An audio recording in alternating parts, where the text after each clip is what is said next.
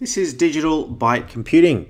I'm going to show you how to copy some files to a data store in your uh, VMware vSphere environment.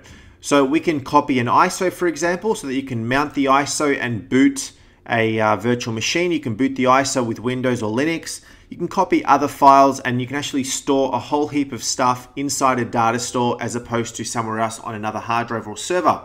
So you can do this on vSphere, connecting directly to an ESX host, ESXi host, or you can do it via vCenter as well uh, and, and do it across multiple hosts if you want to as well.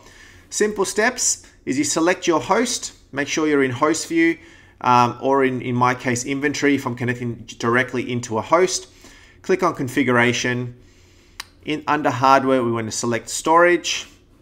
You'll see that I've got a couple of data stores already configured. So I'm going to select this data store, for example. I'm going to right click on it, say browse data store, and then I select a location that I want to copy some files to. So I'm going to create a new folder, call it ISOs, and OK. Select that folder, click on upload file. You can upload a file or a folder. And we've got an ISO that I've navigated to. This is a CentOS 7 ISO and open.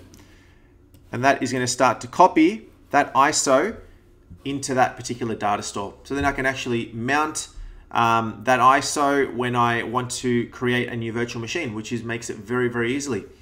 So that is pretty much it. Once it's in there, you can then go and download it off the data store onto your computer. This is also a handy way to say back up a virtual machine if you need to. You can copy the VMDK files uh, and you can also just delete the stuff in there as well. So I hope you found this video helpful. If you did, give me a thumbs up, subscribe to my channel for a whole bunch of more videos.